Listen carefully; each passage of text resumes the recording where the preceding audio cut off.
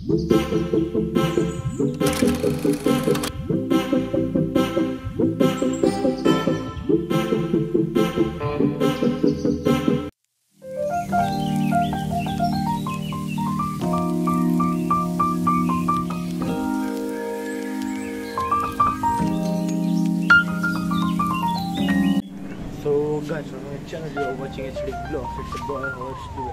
So अभी फ़िलहाल मैं हूँ गोवा में हम लोग यहाँ देने आए थे साई का ट्रायल सिलेक्शन ट्रायल और वो देने आए थे तो अभी फ़िलहाल तो ये नया जगह करके हम लोग को थोड़ा स्टेबल होने में यहाँ तक तो थोड़ा टाइम लग रहा था इसलिए मैं वैसे प्रॉपर अच्छे से ब्लॉग नहीं बना पाया थोड़े छोटे छोटे सीन्स लिया हूँ हर जगह जगह के जैसे और मतलब वही छोटे छोटे सीन्स ले लेके तो मैं जैसे जैसे अभी कहानी बताते जाऊँगा आगे आगे, फिर उसी के बाद में बीच बीच में थोड़ा थोड़ा सीन आया जैसे हम लोग पहले स्टेशन से आए इधर, फिर इसके बाद, पहले दिन हम लोग बहुत टाइम लगे तो हम लोग दिन भर थक गए थे ट्रेन में तीन दिन सफ़र करके, और जनरल में अटक अटक के आए, और अभी फ़िलहाल हम लोग यहाँ अकेडमी में रुके और हम लोग का तो पहले फ़र्स्ट डे में तो हम लोग का वो फ़िज़िकल टेस्ट हुआ, जैसे हंड्रेड मीटर को लॉन्ग रनिंग फिर थर्टी मीटर को थर्टी मीटर रनिंग और शटर रनिंग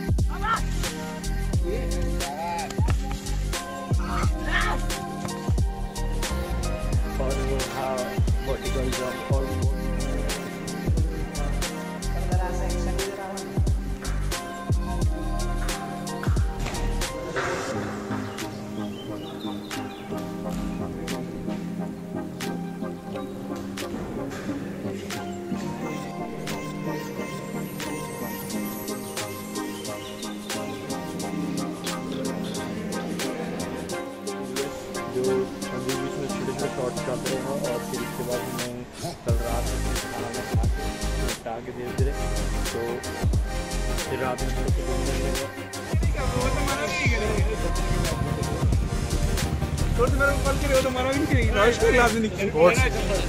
स्पोर्ट्स से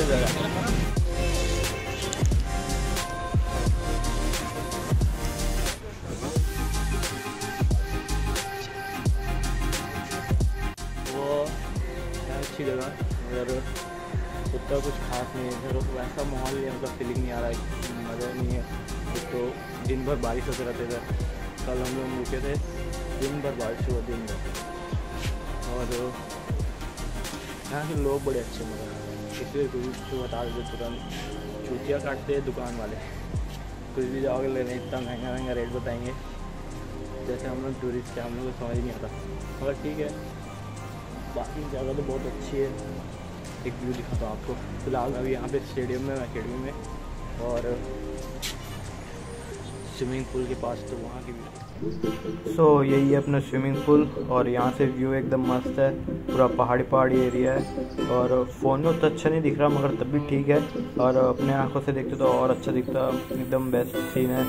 ये ब्रिज है। और तो स्विमिंग पूल में नहाने का भी मन है और अपन सोच रहे हैं, मगर वो सिर्फ़ स्विमर्स लोगों के लिए जो स्विमिंग करता है। हम लोग को जाने का मौका मिलेगा तो पक्का जाऊँगा। अगली वीडियो में आपको देखने के लिए मिलेगा। तो तब तक के लिए स्टे ट्यून स्टे हेल्थी और मिलते हैं नेक्स्ट वीडियो पे।